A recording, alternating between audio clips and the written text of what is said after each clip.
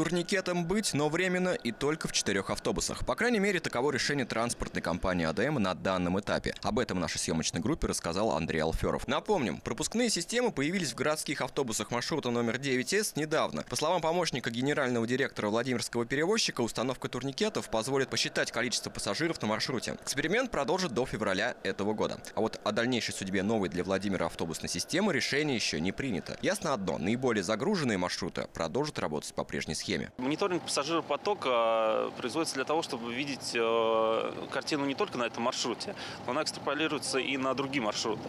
Поскольку поставить э, э, на другие маршруты данное устройство мы данный турникет мы не можем, так как слишком большой пассажиропоток. Это просто остановит Э, транспорт и э, будут очень сильные задержки по маршрутам. После проведенного мониторинга станет понятно, кто платит за проезд, кто передвигается по проездным, на каких остановках собирается больше всего людей. В целом это должно помочь улучшить транспортную ситуацию в городе, рассказывает в руководстве АДМ. Вместе с тем компания сделала все, чтобы людям, которые пользуются маршрутом 9С, новая система доставляла минимум неудобств.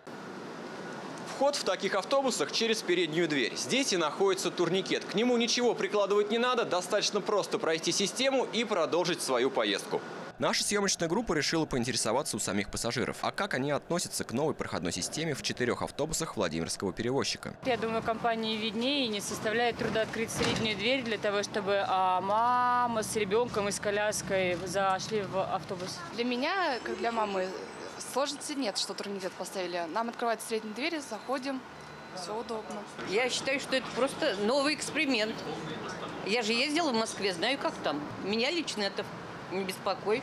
Отличительные особенности новой системы – это дешевизна и высокая точность подсчета. Электронные счетчики слишком дорогие и порой могут предоставлять неточную информацию, рассказывают в руководстве АДМ. По словам представителя Владимирского перевозчика, собранная информация поможет выработать новые правила для автобусных маршрутов. Временные и частичные меры – это путь к удобству всех, говорят в АДМ. Алексей Домнин, Егор Хрыбко, шестой канал.